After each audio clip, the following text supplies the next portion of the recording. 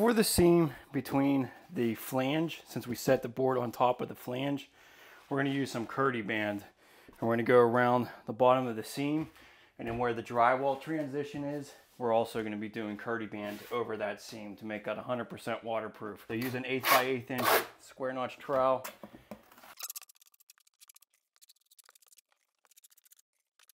I'm gonna use the Go board sealant. I'm gonna fill that whole cavity in.